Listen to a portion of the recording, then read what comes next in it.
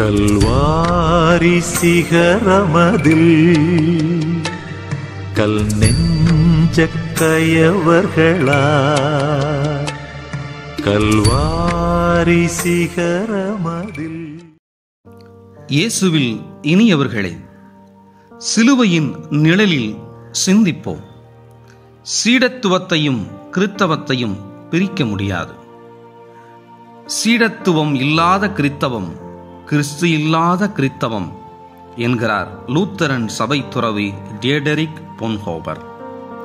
ஆண்டவர் இயேசு சுங்கச்சாவடியில் அநீதியாக மக்களால் வெறுக்கப்பட்டு வரி வசூலித்துக் கொண்டிருந்த லேவியை அழைக்கிறார். சுங்கச்சாவடியில் இருந்தவர் இயேசுவின் காலடிக்கு வருகிறார் சீடராகிறார். நோயுற்ற அவரை மருத்துவராக்கி இயேசுவின் பணி செய்ய அழைப்பு விடுக்கிறார். இனி வாழ்பவன் நான் அல்ல கிறித்துவே வாழ்கிறார் என்று கலாத்தியர் இரண்டு இருபதில் பவுலிடியார் நமக்கு சொல்லுகிறார்.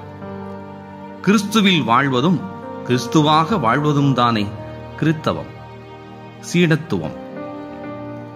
நம்மில் எது வாழ்கிறது? இயேசுவா? அல்லது சாதியா?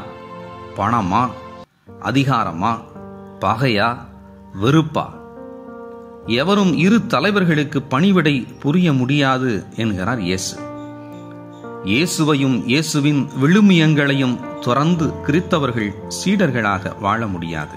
திருத்தந்தை பிரான்சிஸ் இயேசுவின் அன்பை பிறருக்கு எப்போதும் எங்கும் வழங்க தயாராக இருப்பவர்களே சீடர்கள் என்கிறார்.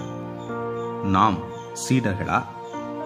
உலகிற்கு ஒளியாய் உப்பாய் வாழ்வதுதான் சீடத்துவம். திரு அவையிலும் சமூகத்திலும் புளிப்பு மாவாய் வாழ்ந்து இறை ஆட்சியை மலரச் செய்து அதற்காக உழைப்பதும் பங்கேற்பதும் தானே கிறித்தவம். சொல்லல்ல கிறித்தவம் செயலே கிறித்தவம். சொல்லுதல் யாருக்கும் எளிய அறியவாம் சொல்லிய வண்ணம் செயல் என்கிறார் வள்ளுவர். சொல்வது எளிது செயல்படுத்துவது அரிது. இயேசுவின் வழியில் செயல்படுவதும் வாழ்ந்து காட்டுவதும் தானே கிறித்தவம்.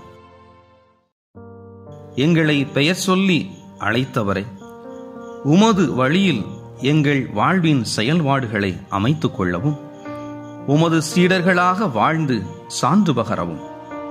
இயேசுவின் மனநிலையோடு இன்னொரு இயேசுவாக வாழ்ந்து உலகிற்கு ஒளியாக விளங்க வரம் தாரும். ஆமேன்.